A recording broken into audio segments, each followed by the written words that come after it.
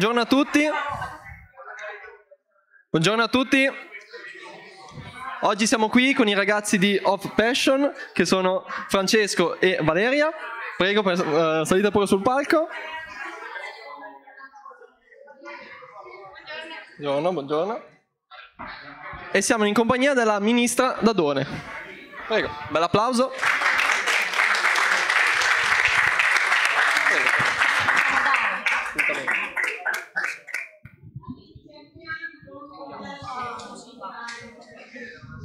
Innanzitutto, buongiorno e benvenuta all'Alle Comics. Oggi siamo qui in questo tempio di, uh, di fantasia e ricreazione per... e quanto sono importanti fantasia e ricreazione per, per il nostro paese? Eh, innanzitutto grazie eh, dell'accoglienza molto calorosa eh, e dell'invito in particolare.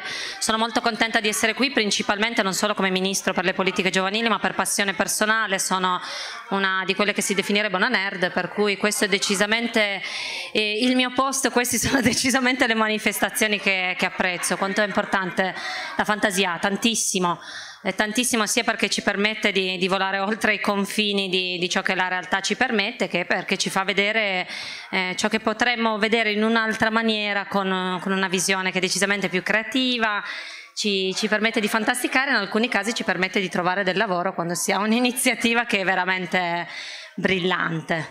Per cui eh, direi che troppo spesso viene data quasi un po' per scontato come se fosse un hobby, la, la fantasia e l'immaginazione, invece dovremmo imparare a coltivarla di più anche parlandone e moltiplicando eh, eventi come questi che permettono non solo ai ragazzi di aggregarsi ma anche di provare un po' a fare scambio di quelle che sono delle vere e proprie culture.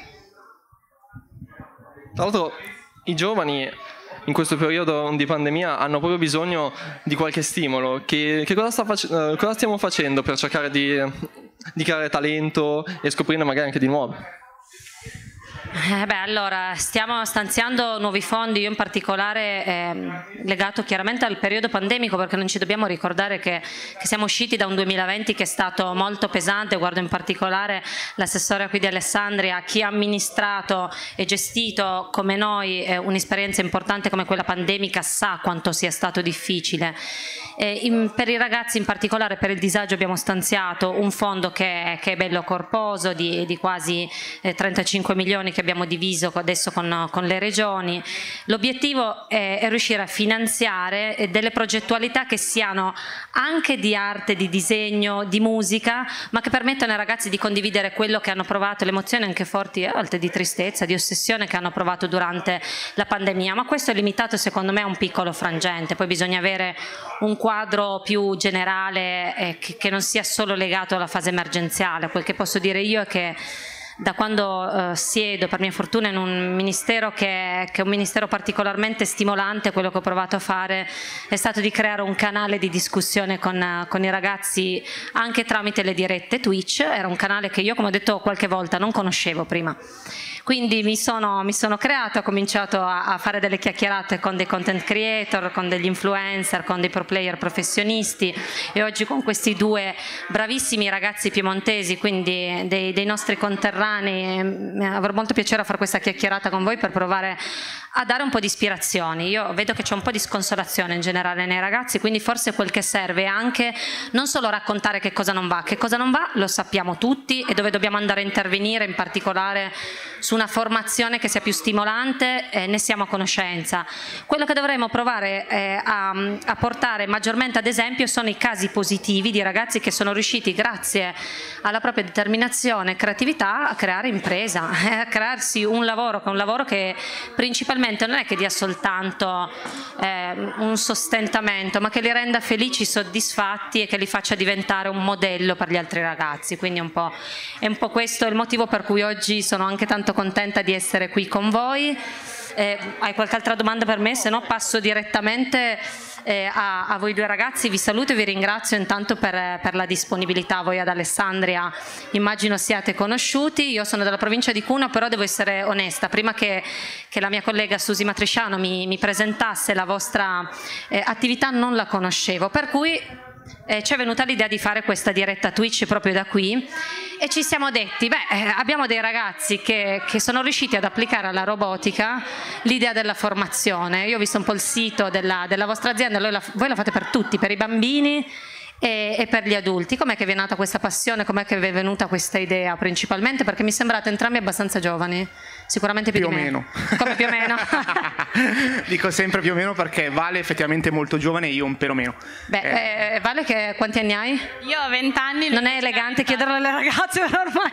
Ma sdoganiamo subito, io ho 28 invece. E eh, allora sei giovanissimo. Politiche giovanili in Italia arrivano a 35 anni. Mi sono posta l'obiettivo di abbassare questo target per portarlo a 29 come gli altri paesi europei però siete, siete giovani. Com'è che vi è nata questa, questa passione? Com'è che avete pensato dalla robotica di provare eh, a parlare non solo ai ragazzi ma anche alle persone adulte eh, di, di, formazione tramite questa passione di potergli insegnare le soft skills perché questo ho letto che è lo scopo della vostra esatto. azienda. Sì, è proprio questo. Siamo molto contenti che, che, hai capito quello che noi facciamo perché molto spesso ci viene detto che insegniamo solo robotica. No! E, e quindi quello che facciamo è cominciato un po' quando io ero piccola, quando ho scoperto la robotica un po' per gioco a 11 anni in un coder dojo. E I coder dojo sono dei corsi di robotica e programmazione che vengono fatti in giro per il mondo per avvicinare bambini e ragazzi al mondo del coding e della robotica. Io sono stata lì, ho scoperto la robotica e senza avere nessuna competenza volevo costruire un robot. E seguendo dei video su YouTube sono davvero riuscita a costruirlo questo robot e dopo poco ho scoperto che non era così tanto comune che una bambina di 11 anni costruisse robot e così ho cominciato a essere invitata a vari eventi, conferenze che mi hanno portato a parlare in diverse conferenze in giro per l'Italia e anche a 14 anni in un TEDx e però poi volevo fare qualcosa di diverso. Ho visto i video della Boston Dynamics, quei robot spettacolari che saltano, fanno capriole, ballano a ritmo di musica e io volevo andare a conoscere i creatori i creatori erano all'MIT di Boston e avevo 15 anni e, e bisognava aspettare all'MIT di Boston. Sì. E, Come ti sei trovata lì? Non è stata un'esperienza incredibile?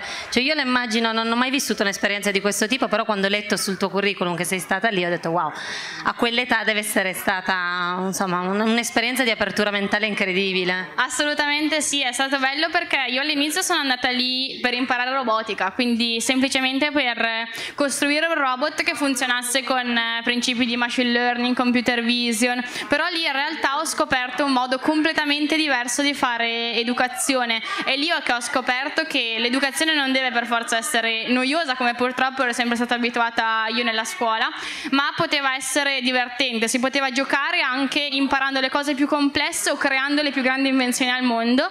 E così quando sono tornata in Italia a 16 anni ho cominciato un po' per gioco all'inizio solo a insegnare robotica e poi in realtà... Solo insegnare robotica, non solo il pubblico ma solo insegnare robotica mi sembra già una cosa decisamente di alto livello per una ragazza di 16 anni. Sì, a chi le insegnavi robotica? Scusa che sono curiosa. Eh, io cioè, insegnavo a usare motorini, LED, Arduino e all'inizio costruivamo anche con i bambini robot abbastanza complessi che magari avevano una scheda elettronica, che avevano dei sensori. Poi in realtà scoperto che anche quando ho conosciuto Francesco che alle persone non serviva solo imparare delle competenze tecniche perché oggi le competenze tecniche sono semplicissime da imparare, basta usare la tecnologia e si può imparare qualsiasi competenza tecnica, ma la parte più importante erano le soft skill. Quindi ho un po' cominciato a, insieme, abbiamo cominciato a usare la robotica come mezzo per insegnare competenze trasversali, insegnare alle persone a essere creative, ad avere problem solving, a lavorare in gruppo, e tutte queste cose sempre giocando e divertendosi. Abbiamo anche creato un metodo educativo su questa cosa perché per noi è fondamentale che le persone giochino e allo stesso tempo imparino senza rendersene conto. E Francesco, tu com'è che ti sei appassionato? Sei stato anche tu all'MIT oppure hai avuto un'esperienza diversa? Guarda Fabiana, sarò... Perché la sua è già surreale. No, infatti, eh? io infatti non, non potrei mai vincere contro un'esperienza del genere. Allora, Dobbiamo far vi... partire te. Esatto. Allora, ma siccome siamo abituati no, a fare questo tipo di cose e lei racconta sempre la sua storia perché è incredibile, no?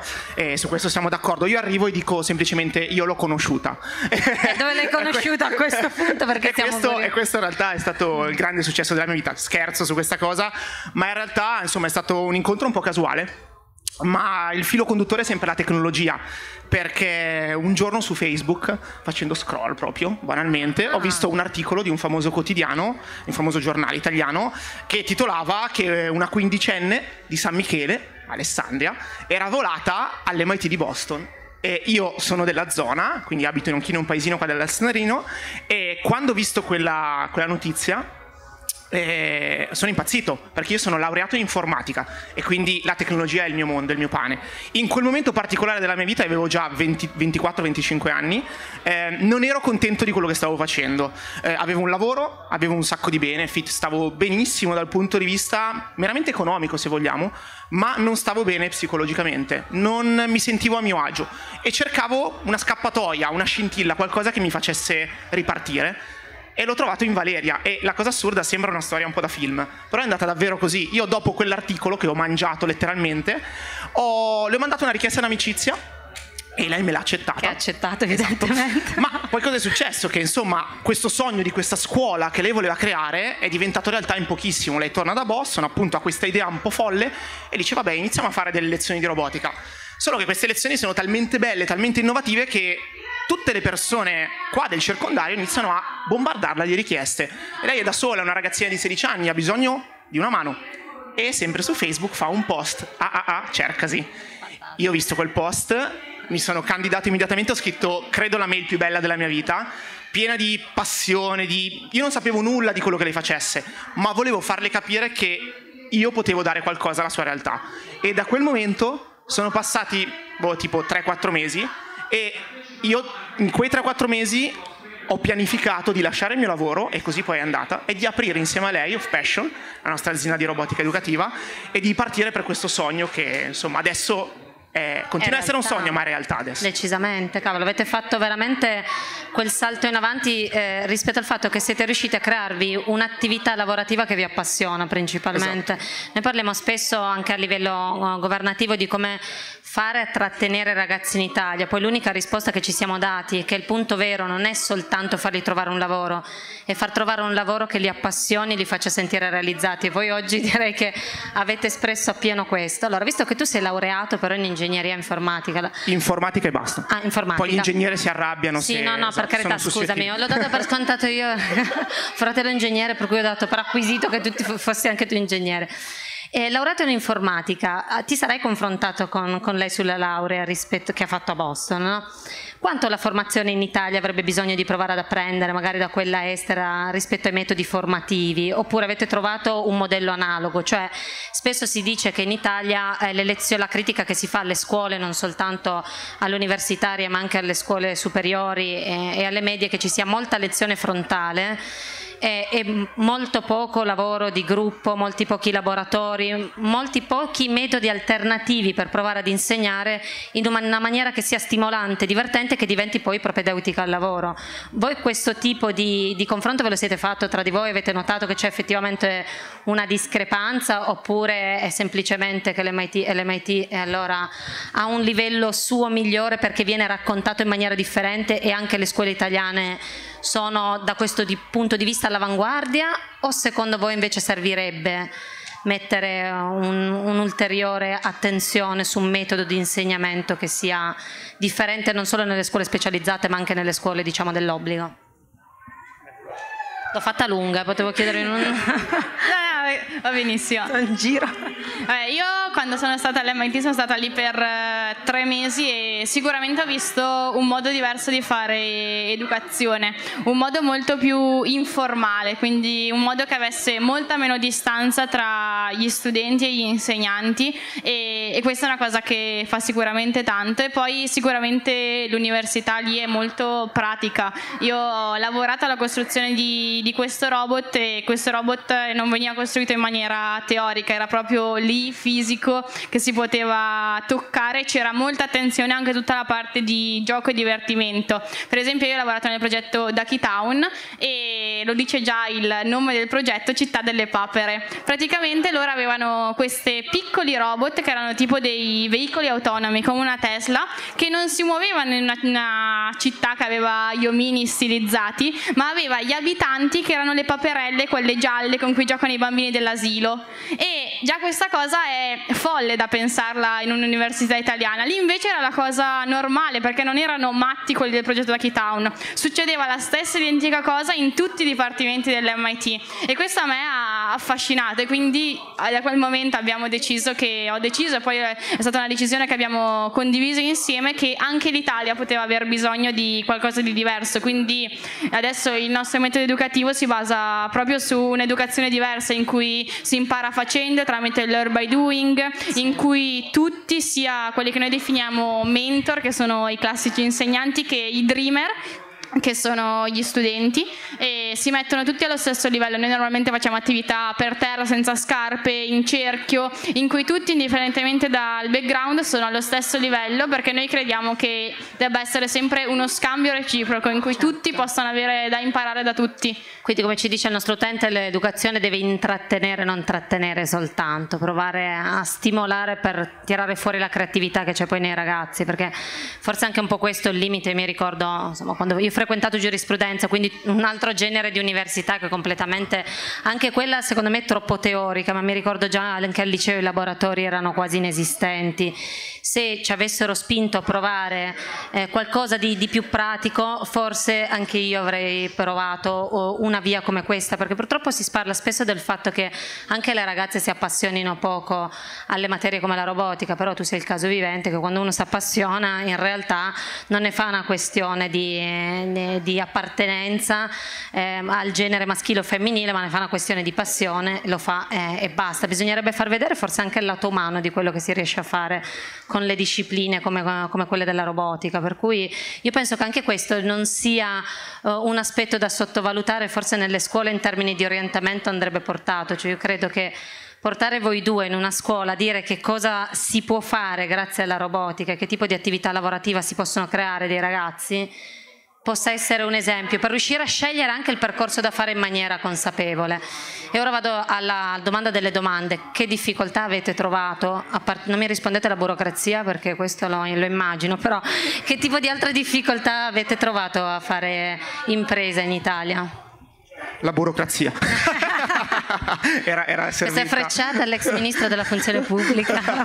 era servita troppo su un piatto d'argento. Sì, sì, te l'ho messa io su un piatto d'argento. eh, allora, devo dire che sarò molto onesto e complicato effettivamente in Italia fare impresa eh, ma non credo solo per i giovani.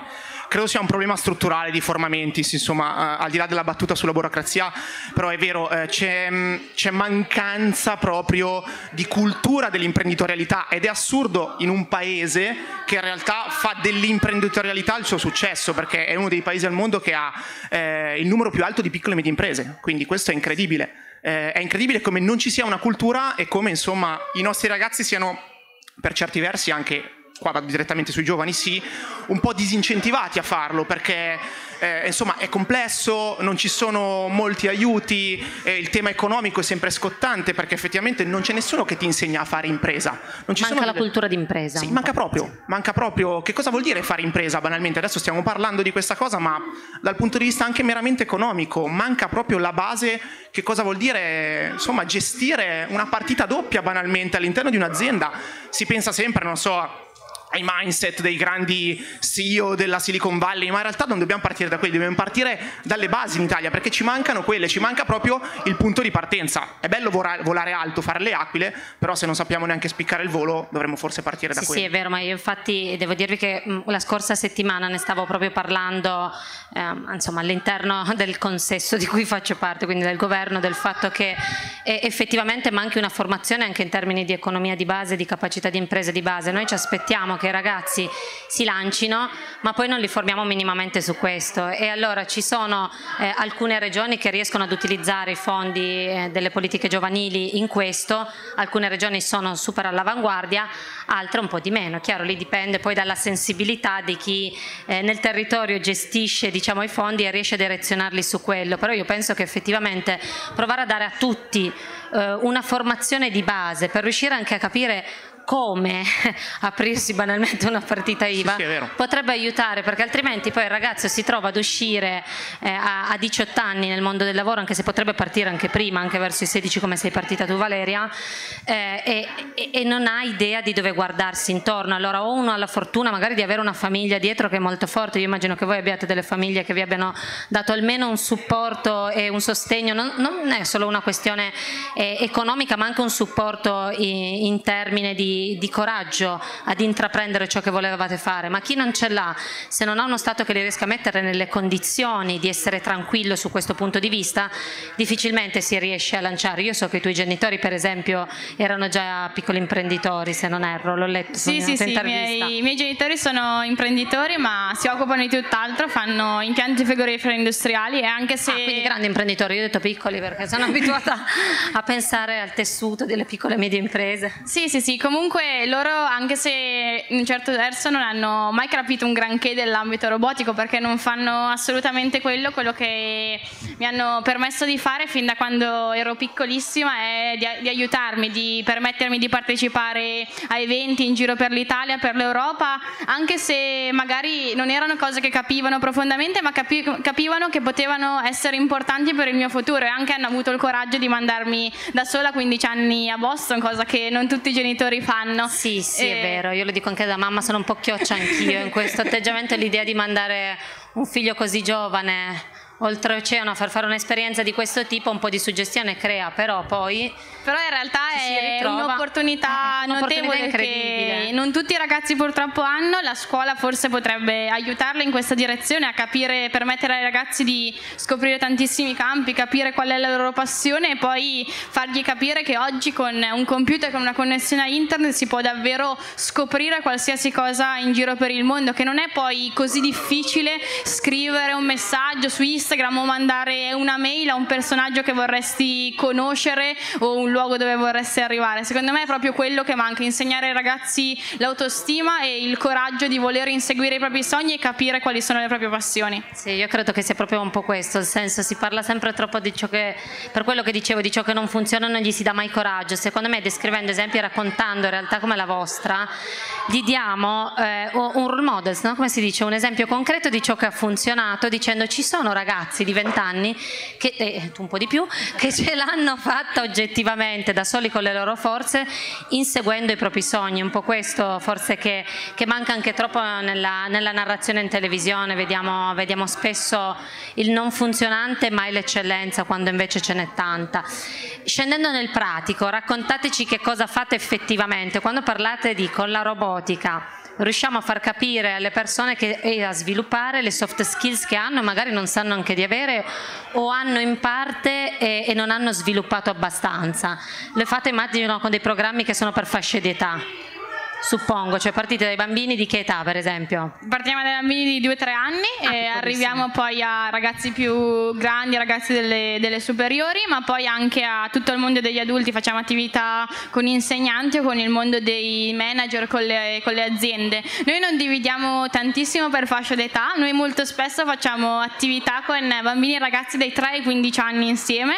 E questa cosa può sembrare molto strana, in realtà noi crediamo che sia un valore aggiunto aggiunto perché non è per forza sempre quello più grande che aiuta quello, quello più piccolo, ma può esserci uno scambio bidirezionale in cui cioè, per esempio ci può essere il più piccolo che è più creativo, quindi può insegnare a quello più grande come decorare il robot o magari la cosa più ovvia è che quello più grande aiuta a fare un passaggio più difficile, cose di questo tipo, però è sempre uno scambio bidirezionale, anche per esempio solo ieri abbiamo fatto attività con dei bambini ed è, per noi sembra una cosa assurda, ma la bambina più più piccola che c'era giocava col, con, col ragazzo più grande che c'era e loro avevano 7-8 anni di differenza l'uno dall'altro, però hanno giocato tutto il giorno insieme. Quindi secondo me la, il fatto di dividere per fasce d'età è più un concetto, un preconcetto di noi adulti, che i bambini devono per forza giocare quelli di 7 anni esattamente con quelli di 7 anni e invece i bambini e i ragazzi giocano in maniera fluida insieme. E con loro per esempio noi facciamo tante attività che vanno da 2-3 ore fino a giornate intere o attività più lunghe come possono essere summer camp residenziali, per esempio quest'estate abbiamo fatto attività con 150 ragazzi in summer camp residenziali,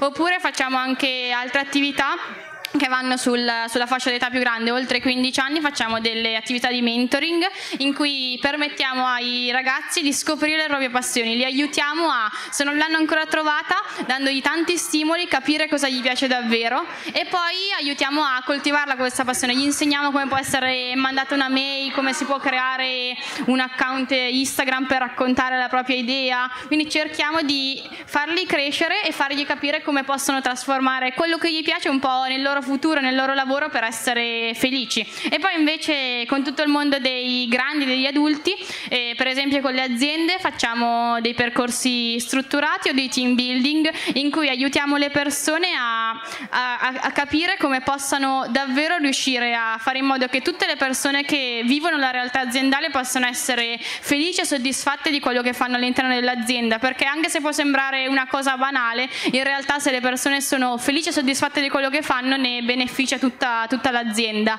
e facciamo tutto questo in maniera molto pratica, costruendo robot che non sono il classico robot che hanno in mente le persone, quello fatto di latta, difficile, umanoide. e... Questo è il frutto dei film anni 90. sì, sì, sì. I nostri robot sono semplicissimi, sono robot fatti con eh, un motorino, delle batterie e hanno dei movimenti meccanici, fisici e insieme al motorino e alle batterie, che sono i classici componenti del robot, mettiamo anche tutta la parte di componenti di riciclo, di uso comune. I robot possono avere, per esempio, essere fatti con bastoncini, bicchieri, cannucce, a cui aggiungiamo dei pezzi fatti con la stampante 3D, con la laser cutter. Ogni volta ne inventiamo direttamente noi internamente un robot diverso perché è più importante per noi il processo di costruzione la parte creativa rispetto al risultato in sé che comunque alla fine di tutti i robot, di tutti i laboratori i partecipanti portano a casa un robot funzionante che si muove realmente. Se lo dividono perché poi sono se lo portano collettivamente. E invece per gli adulti eh, anche lì lavorate proprio sulla costruzione di robot, fate laboratori come dicevate prima di, di mentoring, per esempio per chi ha già un'impresa e volete insegnare le competenze trasversali? In quel caso passa sempre tutto attraverso il robot, adesso poi mh, diciamo mano a mano aggiungiamo sempre qualcosa. Eh, siamo partiti dalla robotica come diceva Valeria che di fatto rimane il mezzo nostro, nostro driver principale, eh, però per esempio eh, un annetto fa ci siamo formati su un nuovo tipo di eh, educazione che noi non pensavamo neanche potesse esistere dico una parola che magari i, i, presenti qua riconosceranno, l'ARP, che non è nient'altro che l'acronimo di Live Action Role Playing. Cosa succede in Scandinavia? Molto in fragranza, In Scandinavia sono 20 o 30 anni che esistono scuole, eh, licei, che non hanno materie ma insegnano tutto attraverso i giochi di ruolo. Cioè, faccio un esempio pratico per far capire questa cosa che sembra molto astratta, ma ha del concreto e ha dei risultati pazzeschi. Eh, devo studiare i romani, eh, divento un romano.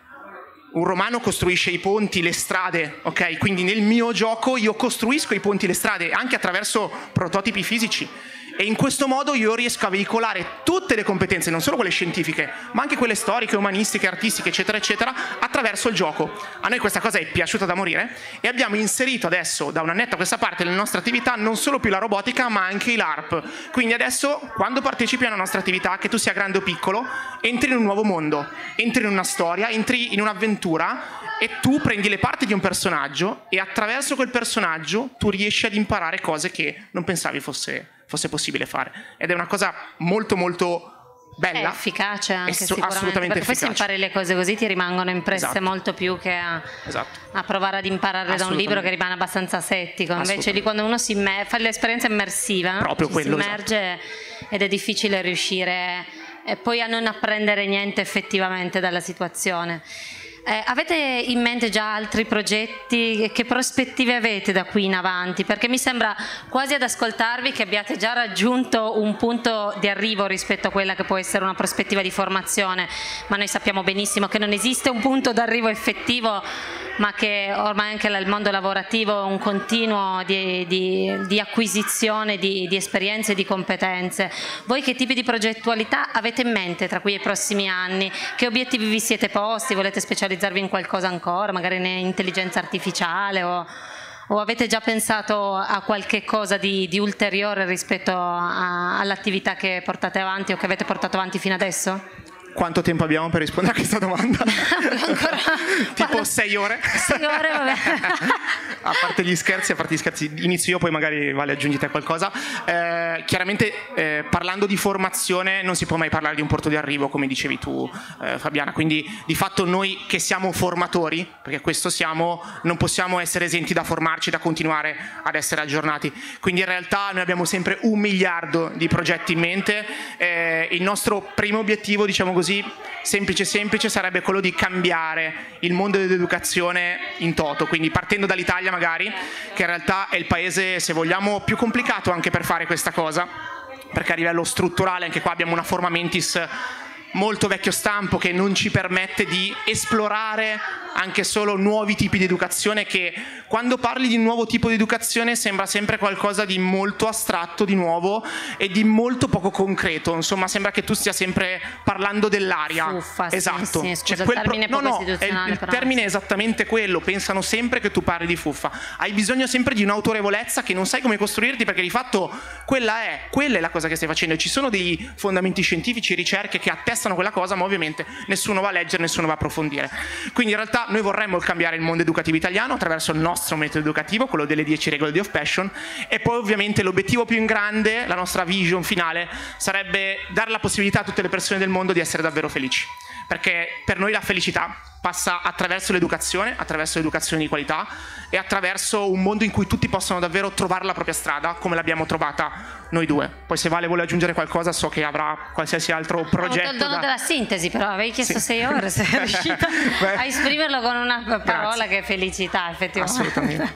Qualche altro progetto Vale che abbiamo? Ma direi che il fatto di rendere le persone felici riassume assolutamente le nostre idee. E proprio più in pratica, come dicevi, di rivoluzionare il mondo dell'education ci piacerebbe proprio che ci fossero dei bambini e ragazzi da- dall'asilo fino all'università che possano essere felici di andare a scuola, che non, una- non vanno in una scuola noiosa in cui non vedono l'ora di uscire, ma vanno in una scuola in cui giocano, si divertono, in cui è il posto migliore in cui possono essere e non vedono l'ora di tornarci, una scuola che gli dia la possibilità fin da quando sono piccoli di scoprire tantissimi campi, che gli apra la mente verso quello che succede al di fuori della scuola, quindi che non insegni soltanto materie scolastiche, ma che gli dia la possibilità di scoprire anche cos'è il mondo là fuori, che possano andare in azienda, che possano andare in giro per le strade e poi anche una scuola che non solo apra la mente, ma gli permetta di scoprire la propria passione e gli dia gli strumenti giusti per coltivarla. Sì, come dico spesso io, una scuola che gli permetta anche di, di conoscere se stessi fino a fondo e che gli permetta di capire che, che una passione può diventare veramente eh, la, la- la possibilità eh, con cui, con cui vivere. Non è poco, però devo dire che poi so che dobbiamo chiudere perché dobbiamo lasciare il palco eh, tra pochissimi minuti, ma eh, so che un, un po' la scuola italiana ultimamente sta aumentando i progetti di robotica, sono passi molto molto piccoli e un po' devo dire forse anche perché eh, io ho iniziato un- un- ad aprire una discussione molto forte sul tema, si sta anche discutendo di come il gaming possa aiutare eh, la formazione ad apprendere anche qui giocando, fino a diciamo qualche ehm, annetto fa parlare dell'utilizzo della robotica e dei videogiochi per provare ad apprendere veniva visto un po' come un'eresia dal mondo degli adulti perché veniva interpretato come una perdita di tempo, un qualcosa che invece non, non serviva effettivamente alla formazione del ragazzo. Oggi c'è un po' più di sensibilità eh, verso, verso queste nuove modalità di apprendimento. Io mi sono posta l'obiettivo, soprattutto da questo Ministero, di spingere fortemente questo passaggio, cioè il fatto che si riesca a- ad imparare in una maniera differente, si possa imparare in una maniera differente, divertendosi ed imparando a puntare su di sé, investendo su di sé, avendo fiducia in se stessi con una parola chiave che mi sono un po' data e che come, come slogan principalmente che è quello di non avere paura. Non avere paura nel futuro, non avere paura di investire in se stessi, non aver paura eh, di, di provare a gettare il cuore oltre l'ostacolo e dire io lo faccio e poi vediamo che, che cosa succede, se riesco effettivamente, poi come calibrare le progettualità mano a mano. Però spero che, che le nuove generazioni vivano con meno timore l'ansia del futuro, ma che invece vedendo ragazzi come voi prendano anche coraggio rispetto a, a nuove prospettive. Quindi io mi sento di farvi un ringraziamento per il tempo che mi avete dedicato, Grazie secondo me un mille. applauso a questi ragazzi se lo meritano e un in bocca al lupo per tutto. mille. È Grazie. stato un piacere immenso. Anche per Grazie noi, che ci grazie. seguite, Grazie Fabiana, grazie.